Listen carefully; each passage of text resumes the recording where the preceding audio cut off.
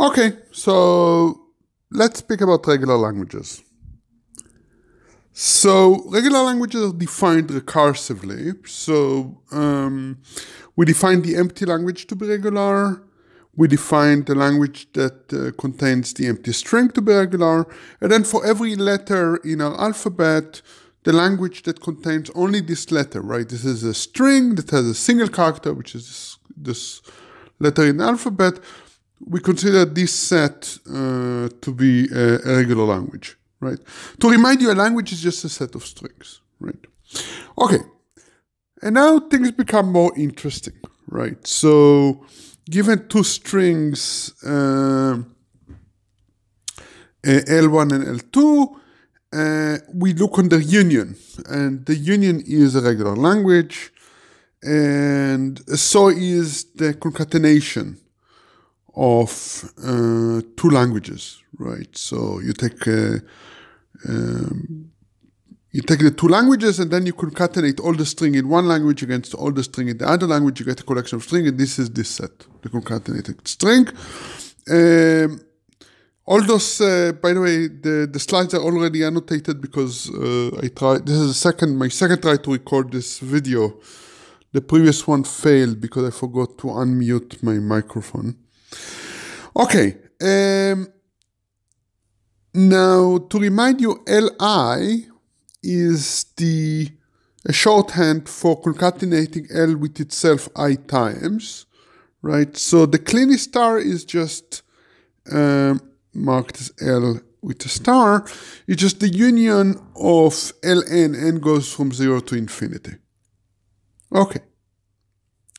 And as I said, as I mentioned, this star operator is called the Kleene star, and uh, we will use it a lot. Um, and another important thing is that uh, if L is regular, then the complement language is regular. So this is complement.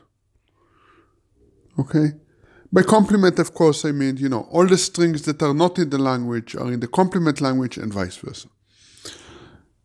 Okay, and now we are allowed to apply any uh, finite sequence of such operations to get a language, right? And regular languages are are this set of languages you can generate by this uh, by a finite process, and uh, those languages are closed under uh, union, concatenation, uh, Kleene star, complement, and other operations that we saw we will see later on. Okay, um, now, so it's important to emphasize here that I allow you only to do this union operation or um, or concatenation, so on, only a finite number of times, right? So, in particular, if I allow you to do infinite union, then uh, you take a collection of languages, each one of them regular, and you take their infinite union, you don't necessarily get a regular language.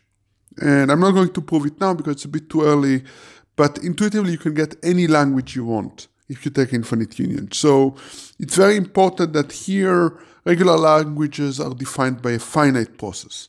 You know, like just think about them as some kind of you generate them by running an algorithm, this recursive algorithm that build them bottom up, and you know this uh, construction have to take finite time. Okay, um, now um, if uh, if we have a string w, right, then the language containing just this string is regular, right? And the reason, of course, is that think about, uh, let's say, the string ABA, you can generate, you know, by definition, you can generate the, the regular language, which is just the string A, just the string B, and just the string A, and then you can take the concatenation, right? Uh, and you will get this uh, language that has a single string ABA. Okay, so that's how, and, and, of course you can repeat this process for any for any string, right? You you generate regular language for every character in the string, and then you just concatenate them in the uh, from left to right in the right order. So any um, language's single string is regular. Now every finite language is regular. Indeed, uh, if you look on a finite language, it's just a collection of strings, right? Every string, you create a language that contains the string, as we saw above, and then you just take their union. So, so we are done. Okay, now here are more examples of uh, regular languages. So, you know, a keyword in the, you know, a language of all the keywords in the Python language. Well, Python language is finite. So it's of course regular. Uh, it's a finite language. Uh, similarly, dates, if you write dates uh, in two digits per day, month, and year, this is finite. Uh, if you write um, a number in uh, Roman numerals, so this turns out to be finite, right? Uh, the largest number you can write in Roman numerals is something like a few thousand, because you're not allowed to repeat a letter more than a certain number of times. There was an extension used during the Middle Ages to denote millions, but you know, uh, still the the numbers you can write with Roman numerals are quite uh, limited. And um, and then we have things like you know um, W contains um, uh, CS374 as a substring, right? Uh, so if substring means here, you know, consecutively, right? A, B, A, CS, CS374, I don't know, ABA. And to see why this is regular, in fact, requires some thinking because it's not immediate. So let's try to do it. See, the, uh, think about the language containing CS374. Just this string. This, of course, is regular. We already saw that.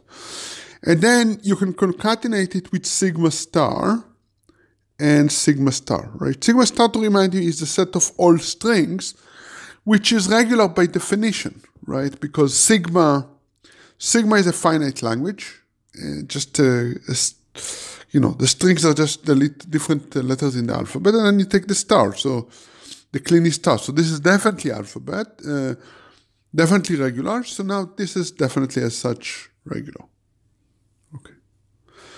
And this is a very inconvenient way of writing this stuff. We will see better way to do it later on. Okay. Uh, so here's a, a few review questions for you and to decide whether or not a language is regular or not. Okay, and uh, that's it for now.